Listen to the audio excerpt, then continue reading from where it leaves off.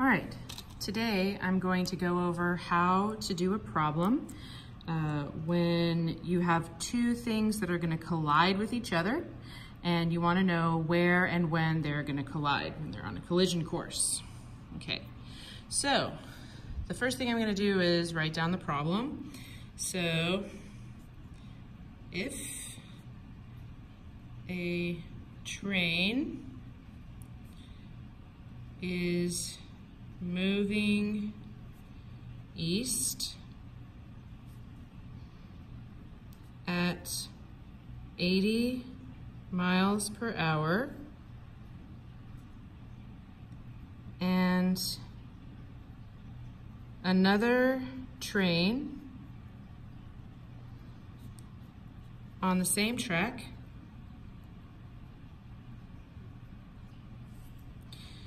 one hundred and fifty miles away is moving west at 60 miles per hour, then we're going to answer two questions. A, when will the trains collide? And B, where will the trains collide? Okay, so the first thing I like to do is draw a little picture for myself. So I'll come over here and I'll draw little train track. And I'm gonna color code this problem because I find that color coding really helps me to keep things straight in a problem. So the first train is moving east at 80 miles per hour. So I'll put that train over here and I'll represent it with a box. I'll say that's train A. And we'll say that to the right is east. So it's moving this direction at 80 miles per hour. And then let's make train B a different color. Go with the purple. No, let's go with pink. So the other train is moving west at 60 miles per hour. So I'll put that train right here. Call it train B. Oops, just realized, forgot a zero.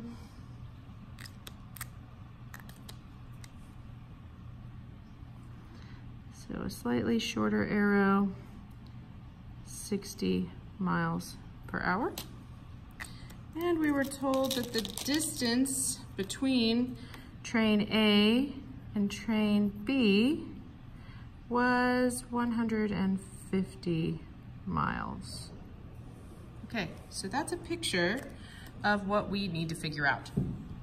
So I'm gonna show you how to do this in several different ways. The first thing I wanna show you is how to do this uh, with a graphical method. So if we go ahead and let's think, we need 150 miles. So let's see. Okay, so let's start here.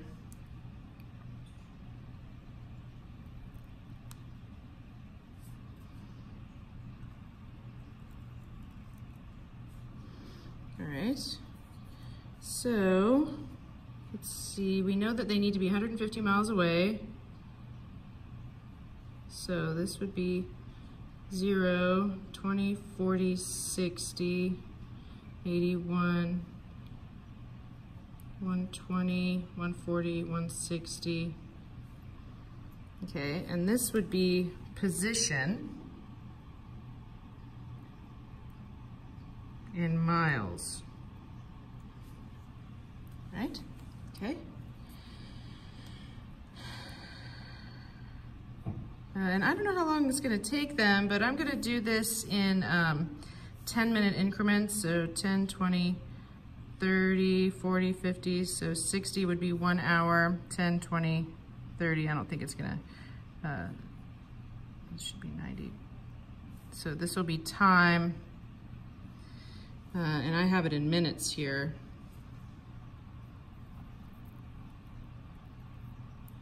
So we're going to randomly decide which train is at the origin. And um, just because train A is on the left of my drawing, I'll go ahead and put train A at the origin. And then I know it needs to go 80 miles in every hour. So 60, so this is 80, 20, 40, 60, 80 miles in the first hour. So I know that train A is going to follow this linear path.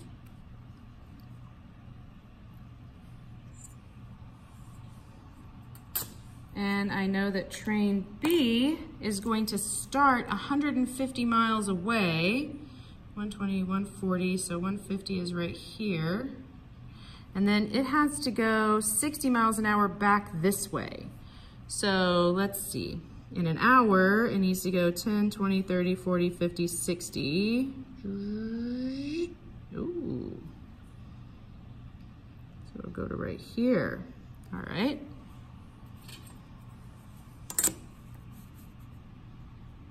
So, and I know this isn't perfect and I could make this bigger and if you graphed this better, then you could get even better results. But what we're gonna see now is where those two meet, which is gonna be the red zone of death.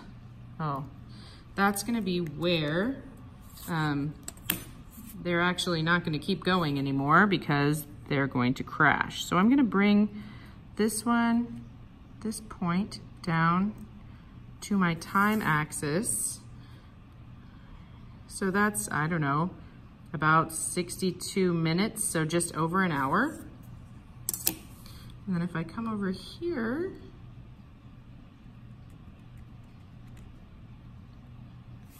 I've got 60, 80, 100 would be here. So I don't know, about 90 miles from where train A started. So that gives us an idea when we do our algebra of what our answers should approximately look like. I'm quickly just gonna draw the motion map for this. I'm gonna start over here. And I'm gonna draw an axis right here. Oh, I should have used a ruler. Where this is 80 meters and this is 160 meters. Okay, and then I'm gonna think about where this was at 30, and let's do 15 as well. 15, 30, 45, 60. So now I can graph that over here. At time equals zero, at time equals 15, time equals 45, 15, 30, 45, 60. And this is my motion map for train A if up is east. So now, let's think at time 15, at time 30, at time 45, and 60. So for train B, I start here, and then after 15 minutes, I've gone to here, after 30 minutes, after 45 minutes, and then here was an hour. So I will, as you can see from the drawing, the arrows are starting to cross right here. So we know about uh, a little over 80 meters is where they're going to cross. I forgot my zero again. All right. And before we even do anything else, I'm gonna go ahead and do the velocity time graph for you. I'm gonna scoot this up a little bit. So for my velocity time graph, I'm gonna put that right underneath this position time graph. I'm gonna draw my axis here. Let's see, I have to have positive 80 and negative 60, 20, 40, 60, 80, 20, 40, 60.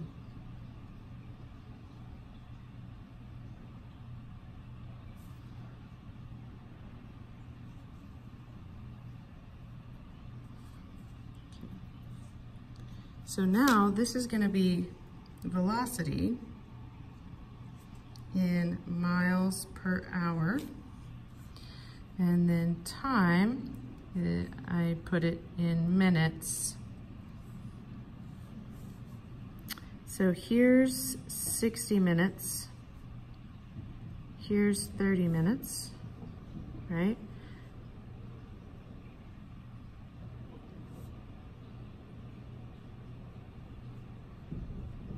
Okay, so train A is going in a positive velocity of 80 miles per hour. So here's zero miles per hour, 20, 40, 60, 80. Here's negative 40, negative 60. Okay, this is positive. Remember, positive and negative at this point, they just mean direction. So this line is going positive 80 miles per hour all the way until right here. So at time, you know, zero, it was going 80 miles per hour. At time 15, it was going 80 miles per hour.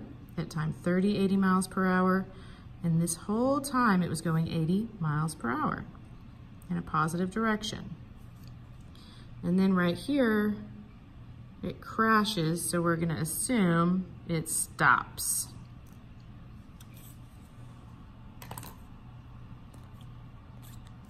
For our train B, it was going 60 miles an hour west, which is the same as negative 60 miles per hour.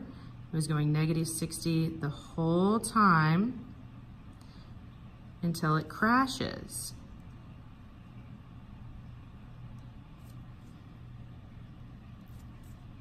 Oops. I'm not supposed to show they're both at zero now. All right. So the next thing I'm gonna show you is how to represent this motion with math equations so that we can get the exact uh, A and B when the trains will meet and where they will meet. Uh, because we got from the graph that the, it should be at about 62 minutes and about 90 miles away from train A, where train A started, but we want to be a little bit more precise. So we're going to actually write the um, equation for each one of the motion of each one of these. And we're going to use y equals mx plus b. So if I use y equals mx plus b for train A, uh, my y is my position. My m is my slope, which is my speed, so positive 80. And I'm gonna leave out the units just for right now. Um, and my x is my time. Plus b, well, b is the uh, intercept and that's zero, so I don't have to write that. So my equation for A is x equals 80t. Yeah? And if I use y equals mx plus b formula for the train B, my y-axis is now my position axis, and for position, we use the letter x. My slope is negative 60 miles per hour. My x-axis is my time axis, so I'm gonna put a t plus my intercept is actually 150, which is miles. Oops, I went off the page. So, if x is equal to 80t and x is also equal to negative 60t plus 150, then we could say that these two things are equal to each other because if they're both equal to x, they have to be equal to each other. So we'll write that as a new formula. We'll say um, 80t, set that equal to negative 60t plus 150. Now I want to get the t's both on the same side. So I'm going to use a different color here. I'm going to add 60t to both sides. And this negative 60t plus 60t becomes a zero. And over here, I get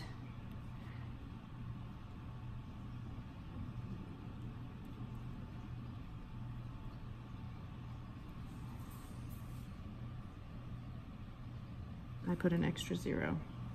Uh-oh.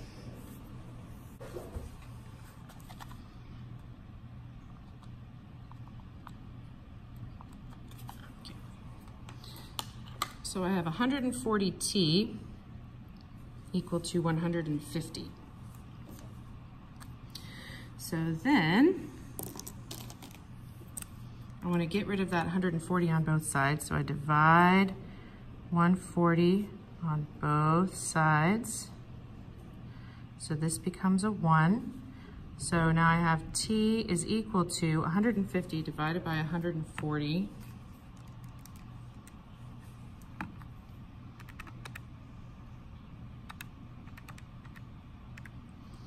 So I get 1.07. Now what are my units? I know that over here I had time in minutes, but here I had 80 miles per hour, negative 60 miles per hour, and 150 miles. So the only time I had here was hours, so that's hours. If I want to figure out how long that was in minutes, I can say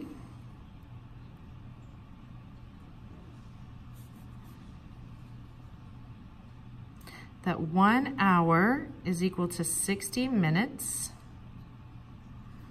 And then I can take that 1.07 times 60 and I get 64.3 minutes. And look, I thought it was about 62. That's pretty close. So those match. So the answer to A, this is the answer to A. The trains collide after 64.3 minutes. So now we need the answer to B. Where will the trains collide? I know it should be close to 90 miles. Well, I have how many hours here, and I have that the position is equal to 80 times the time in hours. So I'm just gonna fill that in.